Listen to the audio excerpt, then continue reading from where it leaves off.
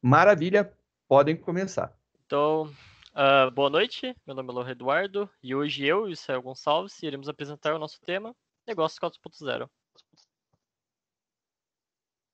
Uh, os tópicos que a gente separou para essa apresentação são Indústria 4.0, Revolução Industrial, Negócio 4.0, Necessidade de Inovação, Modelo de Negócio, Startup e Principais Comportamentos de Negócio. Bom, para começar a apresentação, a gente irá primeiro introduzir o tema Indústria 4.0, que para melhor entendimento do negócio 4.0, a gente decidiu a introduzir primeiro Indústria 4.0. Bom, ele basicamente se refere à quarta revolução industrial, onde já existiu outras três, cada uma simbolizada por uma descoberta, como a primeira pelo maquinário e o vapor, a segunda pela eletricidade e as linhas de montagem, a terceira pela internet e os microcomputadores, e a quarta, e a atual nessa transição, é aquela que está introduzindo algumas novas tecnologias bem avançadas, sendo elas algumas que eu vou citar aqui: segurança da informação, realidade aumentada, big data, robô autônomo, simulação, manufatura auditiva, sistemas integrados, computação de nuvem e internet das coisas. Basicamente, essas nove, essas nove tecnologias avançadas compõem a, a indústria 4.0. E, e onde os negócios 4.0 se encaixam nessas tecnologias? Basicamente, se encaixam em tudo. Com a indústria 4.0, as empresas de grande e até de pequeno porte sentiram essa necessidade de inovar nos seus modelos de negócio nas suas tecnologias, para assim continuar competindo no mercado de trabalho. No caso, aceitando riscos nessa nova experimentação, pode se dizer, com chance de liderar nesse novo e amplo mercado de trabalho, que é o mercado de trabalho da tecnologia. E assim se fez a necessidade de inovação dentro da própria empresa, para assim automatizar esses processos, a fim de melhorar a qualidade de seus produtos ou serviços, no caso, assim se mantendo competitivo no mercado. É, mas obviamente nem tudo foram flores e algumas empresas ainda se mantêm estagnadas nos seus processos, das quais algumas são inspiradas nos princípios, nos princípios de Henry Ford, onde a produção e a linha e massas, assim, com os processos eram o princípio do sucesso. Pelo menos eram os princípios que ele dizia naquela época. E realmente funcionavam. Mas com essa nova integração de tecnologia, se desvencilhar desses processos ultrapassados e burocráticos se apresentavam a uma, uma missão difícil ou quase impossível, pois a infraestrutura da empresa girava quase totalmente em torno desses processos burocráticos e meio ultrapassados. Então, assim, o movimento startup ganhou muito mais força, pois ele não estava preso a esses modelos de orçamento burocráticos, mas se baseavam na autonomia, agilidade, a experimentação do novo, o ato de testar, errar, corrigir, testar de novo e corrigir novamente. Sempre se atualizando. Por isso, pode-se dizer atropelando os antigos modelos de negócio. Bom, continuando,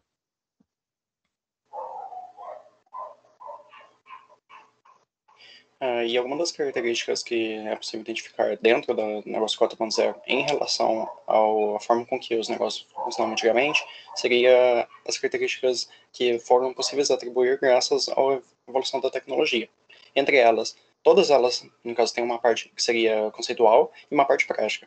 No caso, o mercado de um cliente seria um exemplo conceitual, de que uma empresa ela é capaz de criar um, uma espécie de modelo, ela faz o sistema dela e atribui as funções básicas, mas ela não define o que é apresentado para cada pessoa. E sim, isso é, é executado de forma autônoma devido a uma IA pegar os hábitos da pessoa dentro do sistema, pegar as coisas que ela utiliza ou que ela pesquisa e adaptar isso para cada pessoa, o que torna o, o próprio sistema uma experiência única para cada indivíduo utilizando.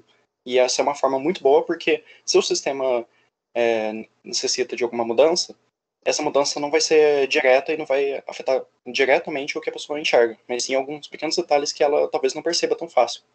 O segundo caso seria o valor exponencial, de que, uma vez que o cliente já é leal ao sistema e ele já gosta do que acontece, é, é possível que a empresa realize é, novo, é, transite para novos mercados ou tipos de negócio e o cliente que já acessa alguma coisa, já executa alguma coisa no sistema, ele pode não ser afetado diretamente, mas já que ele sabe que agora a empresa oferece um novo tipo de serviço, isso poderia atrair ainda mais valor, que é um valor crescente. O terceiro caso seria aproveitar a evolução para inovar, onde, quando começamos é, ao sistema de mercados, por exemplo, de casas, estruturas, apenas o terreno era vendido. Daí foi um terreno com uma estrutura pré-construída. E agora até a parte de dentro da casa já é uma parte que pode ser controlada, que seria com a internet das coisas. Então, de início, para quem vendia um sistema que seria apenas um sistema online, agora é um sistema praticamente físico, que as pessoas conseguem interagir fisicamente com o que está acontecendo. E essa seria uma ideia de alguma coisa que surgiu, entre aspas, do nada, e eles foram adaptando cada vez mais, que é uma, uma menos uma ideia de alguma sistema que surgiu em um ambiente que já estava existente há muito tempo, que seria uma casa que tinha internet e que tal conectar a casa na internet. Desde um, um terceiro tópico. E o último seria aceitar o risco, pois algumas das empresas, ao menos o que eu posso citar de exemplo seriam os sistemas que eu uso, como o YouTube ou Twitch, eles é, podem executar mudanças que, se afetarem a mim, são sistemas que ainda funcionam da mesma forma, mas talvez o código de pesquisa traga algum resultado que não goste. Mas nada impede que o sistema continue funcionando normalmente, pois eles podem ter o risco de tentar executar alguma coisa diferente e mesmo assim eles ainda não vão perder cliente por conta disso. Então há uma disponibilização maior de recursos para tecnologias que antes era inviável, porque poderiam perder clientes no processo, mas que agora permite crescimento.